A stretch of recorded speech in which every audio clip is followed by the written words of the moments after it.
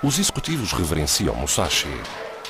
Praticam kendo às seis e meia de todas as manhãs, usam a sua filosofia como guia para as suas decisões diárias, gerindo os seus negócios como uma operação militar. As estratégias do livro podem ser aplicadas onde quer que exista conflito e competição.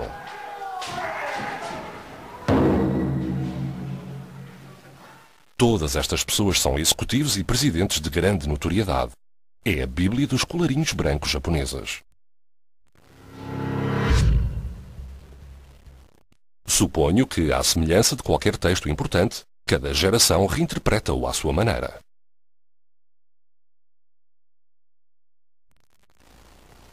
Konnichiwa.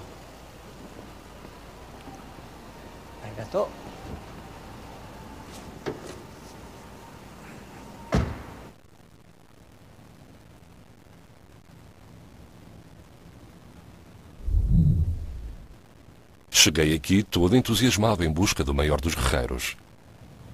Claro que o encontrei. Musashi é o maior dos guerreiros. Mas nunca pensei vir a ficar tão afetado pela filosofia dos seus últimos anos. Este homem passou a sua vida a aperfeiçoar as suas capacidades de combate para alcançar a iluminação depois de as abandonar. É a destilação perfeita de qualquer forma de arte.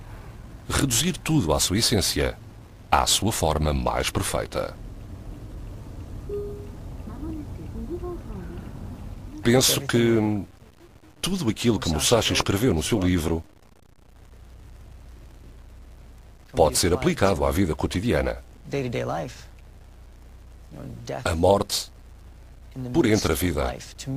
para mim, isso significa nunca esquecer que vamos morrer.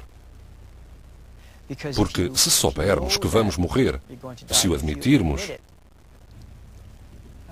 passaremos a apreciar muito mais a vida. Ele escreveu: Ser destemido perante o inimigo. Para mim, isso significa que, na vida cotidiana, todos nós encontraremos obstáculos e desafios, mas que devemos enfrentá-los, nunca contorná-los. Fazer o que devemos fazer para levar as coisas a bom porto. Na minha he opinião, ele escreveu todos aqueles princípios no seu livro para serem usados na vida do dia a dia.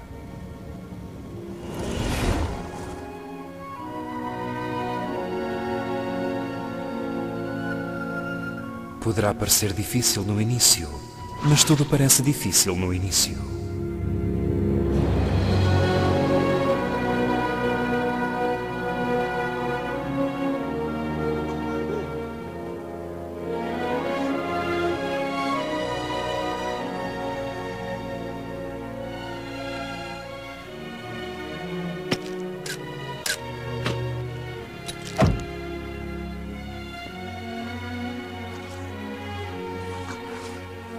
Sobreviveste? Saíste-te muito bem, muito bem mesmo. Foi por pouco que sobrevivi.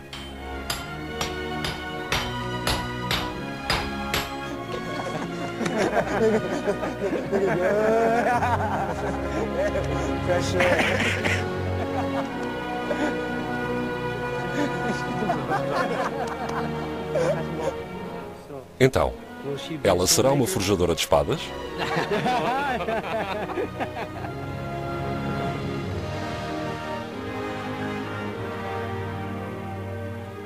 Ainda que se nos depare um caminho de mil quilómetros pela frente, devemos dar um passo de cada vez. Pensai bem nisto. Versão portuguesa, via satélite.